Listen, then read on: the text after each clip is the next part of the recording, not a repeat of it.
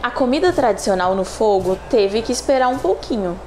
Essa semana, a matriarca de 103 anos, Rita Carajá, recebeu a primeira dose da vacina contra a Covid-19 na aldeia Fontoura, no Distrito Sanitário Especial Indígena Araguaia. O DCEI Araguaia tem realizado busca ativa para vacinar todos os parentes das 43 aldeias do distrito. Até o momento, 48% dos indígenas elegíveis à vacinação tomaram a primeira dose do imunizante.